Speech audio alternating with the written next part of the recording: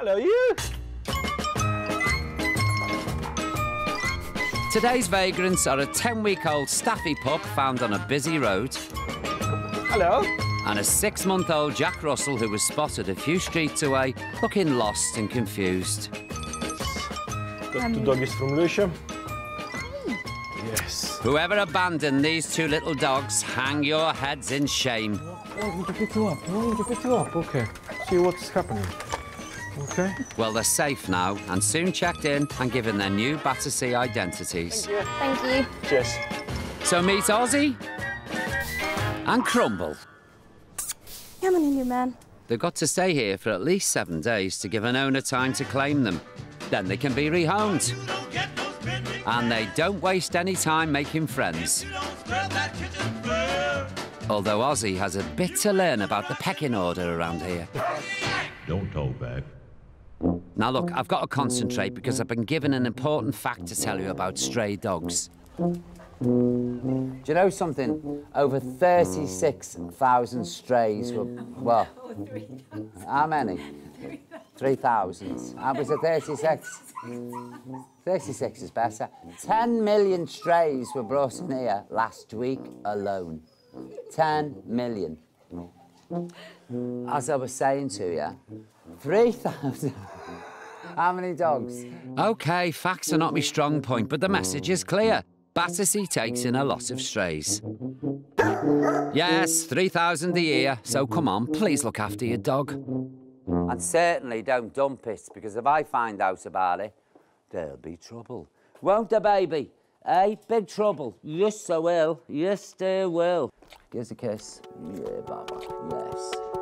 Another stray's just come in. Just look at this poor little lady.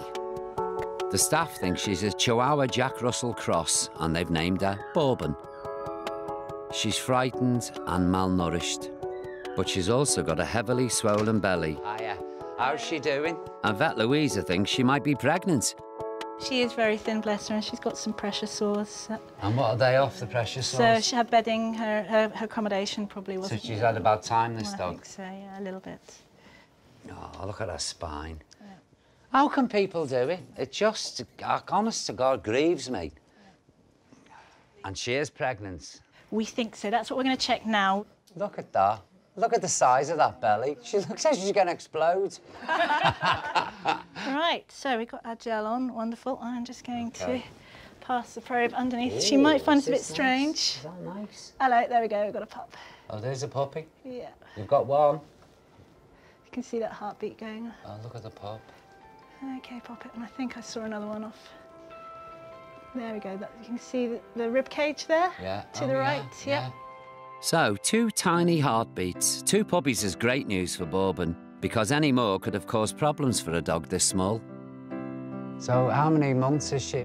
Well, a, a normal gestation period is nine weeks. Yeah, So she, I would say she's she pretty. pretty much there. I can't imagine she's got fur, especially as she's so small. Do you know who the father is? No. No, Or what the unfortunately, father she's is. not telling us. No. Come on, Madden. Who have you been carrying on with outside the chip shop? Come on, hey. Keeping still on that one. Come here, little girl. There you go. Do you know what I'm looking forward to seeing? Your puppies. Hey? She's so lovely, isn't she? I can see me at the end of this run going up Battersea, Battersea High Road. That 19 dogs on leads. With Carmine leading the front. So Bourbon could give birth any day now, and all we can do is, well, wait.